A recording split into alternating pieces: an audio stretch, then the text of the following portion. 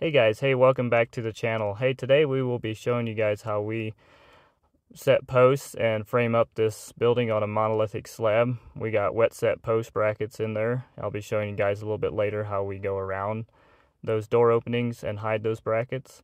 So please just stay tuned and enjoy this time lapse.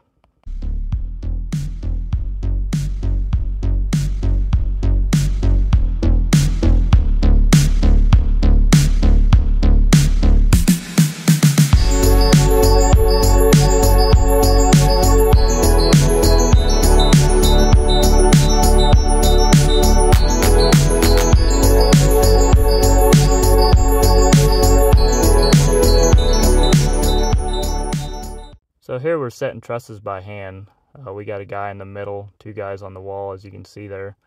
It's not the funnest, a uh, little hard physically, but it definitely can be done if you're willing enough. And then here we got those brackets, as you can see they're bolted. And then we put that jamb around it and cut it just like that, and it fits right in there. And that way you got wood around all the way around your door opening again.